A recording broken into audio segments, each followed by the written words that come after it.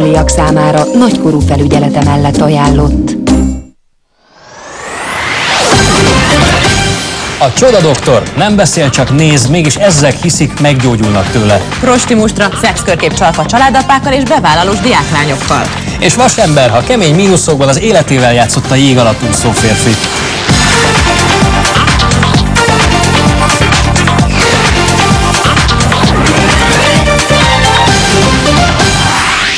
Ma kimentünk az utcára és megnéztük, hogy komolyan veszik-e a smogriadót az autósok. Jó estét kívánunk! Ez az aktív élőben Cippen Anettel. És Somogyi Zoltánnal üdvözöljük Önöket! Nekem egyszer egy szemész mondta azt, hogy egy gyakorlott orvos már ránézésre meg tudja állapítani az ember szeméből, hogy valaki beteged. Hát igen, gondolom a pupilatágságából, meg a színek is nagyon elkodóak egyébként, én úgy tudom. Hát igen, és rögtön rávágta is, hogy a szem pont ezért a lélek tükre. Brácó, a horvát fiatalember nem tesz mást, csak néz. Mégis több ezeren úgy érzik, hogy pusztán ettől a nézéstől meggyógyultak. A férjem nem tudott járni, most jár. Úgy szaladtam föl a lépcsőn, mint akinek semmi baja nincs, pedig én két oldali csípőfiszamos műtött vagyok. Kellemes érzés volt. Ilyen és ehhez hasonló élményekről meséltek azok, akik már találkoztak a horvát néma gyógyítóval, Brácóval. Brácó most másodszorra érkezett Magyarországra, hogy csodát csodára halmozzon, pusztán azzal, hogy néz. Brácó kiáll több száz ember elé, és nézi őket. Hogy miként azt nem sokára megmutatjuk, de előtte irány ez a budai joga stúdió, ahol a csöndes segítő néhány híve azért gyűlt össze az ország különböző tájáról, hogy meditációval hangolódjanak a vele való találkozásra. És most egy kicsit gondold végig,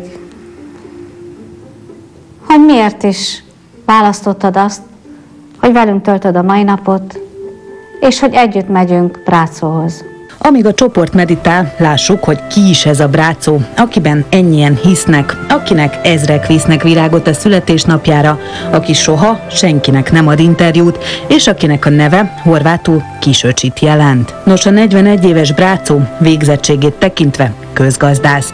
Ám 13 éve minden áldott nap nézésével pozitív energiákat közvetít, hol Zágrábi központjában, hol Európa különböző országaiban. Brácó nem egy remete, nem egy gurú, normális hétköznapi életet él a családjával, amiben különbözik tőlünk vagy bárki mástól. Ez a képessége, amit ő szerényen és alázattal igyekszik az emberek javára fordítani. A meditáció közben elpattant egy mécses, hogy a pozitív energiák vagy a hő miatt azt nem tudjuk.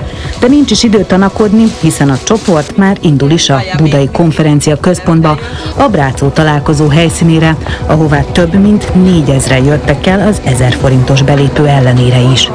Ne számoljanak, az 4 millió forint. Ez a szervezőket illeti, a horvát néző úr ugyanis ebből nem kap.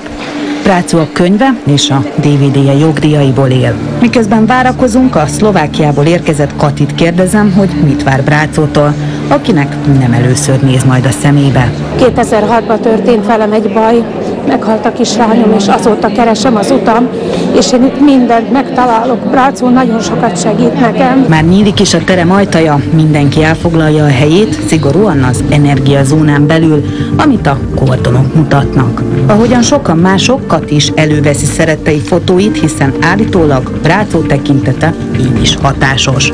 Nos, egy rövid eligazítás. Csak azok álljanak oda hátra külön, akik nem akarnak a Brácó hatásával találkozni. Mindjárt érkezik Brácó, hogy egyszer nézzen több száz ember szemébe.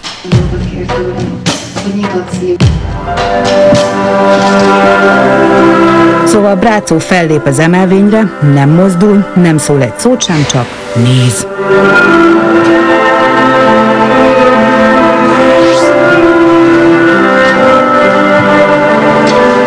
Mindössze néhány perc az egész, és Brácó, ahogy jött, ugyanúgy távozik is.